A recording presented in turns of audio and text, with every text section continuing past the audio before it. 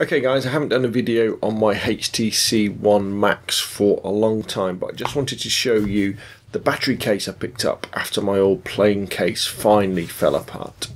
And if you've got a HTC One Max, I'd definitely recommend you get one of these battery cases now because um, they've gone really cheap. The official battery cases are now reasonably priced at around £20 on Amazon in the UK, which isn't really that much more than, uh, than the original um, flip case.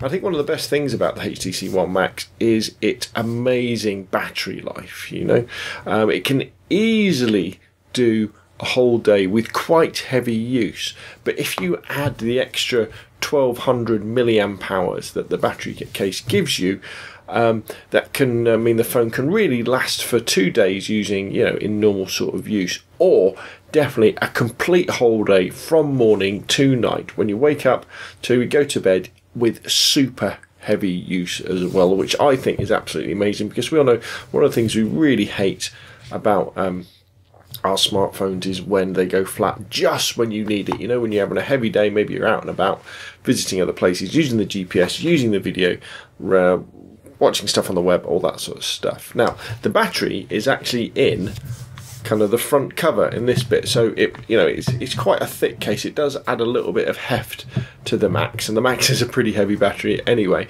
And the way it connects is you, I mean you can't see in this video but underneath here on the back of the HTC One I think it's probably underneath that little HTC logo there actually there's some contacts and that's that's how it does it. And because it's a bespoke case specifically for the Max there's no messing around with different connectors. When you plug your USB uh, charger into the bottom of the Max. That charges up the battery in the phone and in the case as well. Um, and it knows that that is there and it uses both as it's using it.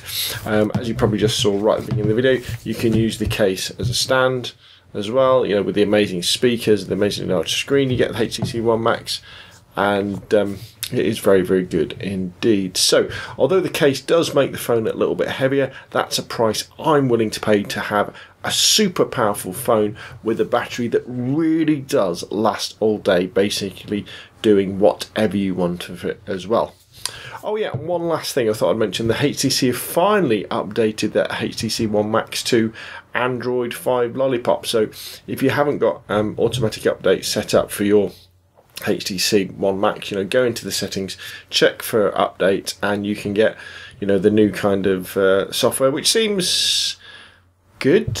Um, it doesn't really seem that much different to the old one, but I guess it's probably a little bit more stable and a little bit faster as well. So that's enough from me. A quick update on the HTC One Max and the official HTC battery case. Get one now before they disappear, and uh, you definitely won't be sorry. Thanks for watching.